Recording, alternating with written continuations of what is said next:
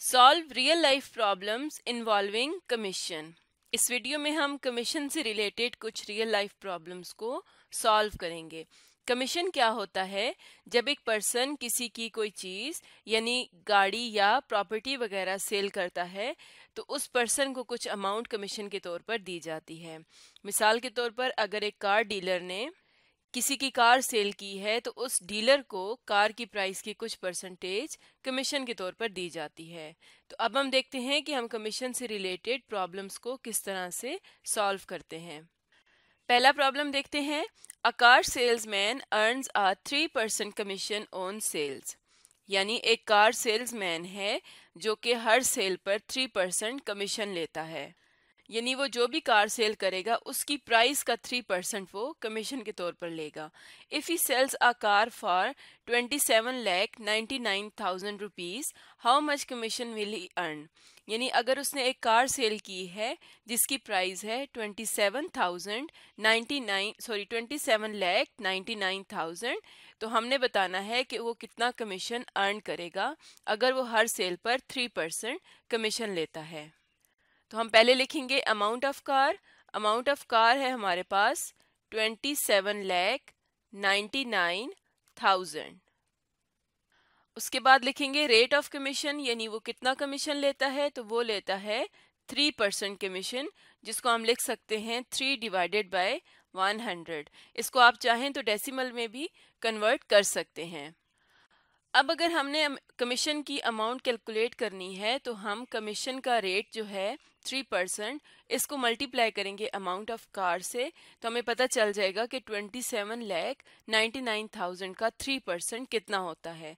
तो हम लिखेंगे amount of commission is equal to amount of car multiplied by rate of commission तो यहाँ पर अमाउंट ऑफ़ कार आ जाएगी twenty seven lakh ninety nine thousand और मल्टीप्लाई कर देंगे रेट ऑफ़ कमीशन के साथ। थ्री डिवाइडेड बाय हंड्रेड इसके बाद हम इसको सॉल्व करते हैं तो हंड्रेड को हम इसके टू ज़ीरोज़ यहाँ पर टू ज़ीरोज़ के साथ कैंसिल कर देंगे और थ्री को मल्टीप्लाई कर देंगे twenty seven thousand nine hundred ninety के साथ। तो ये आ जाएगा, ये आ जाएगा eighty three thousand nine hundred seventy rupees यानी अगर कार सेल्समैन ने एक कार सेल की है twenty seven lakhs ninety nine thousand की तो उसमें से वो कितनी अमाउंट कमीशन के तौर पर लेगा?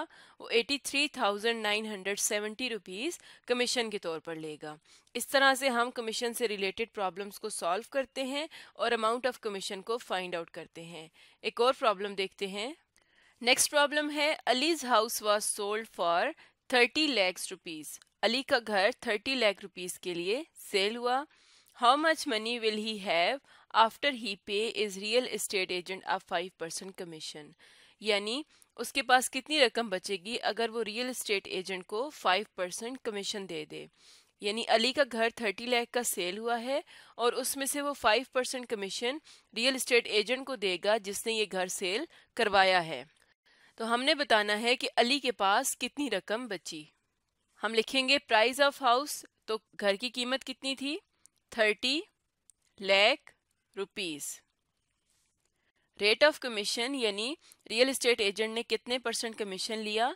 तो ये लिया था फाइव परसेंट और इसको हम लिख सकते हैं five divided by one hundred तो पहले हम अमाउंट ऑफ़ कमीशन निकाल लेंगे कि यानी थर्टी लैक्स में से रियल एस्टेट एजेंट को कितना कमीशन मिलेगा। तो इसके लिए हम लिखेंगे amount of commission equals to price of house multiply by rate of commission तो हाउस की प्राइस थी थर्टी लैक्स थर्टी लैक्स, और मल्टीप्लाई करेंगे रेट ऑफ़ कमीशन के साथ, जो कि है five divided by hundred, five percent.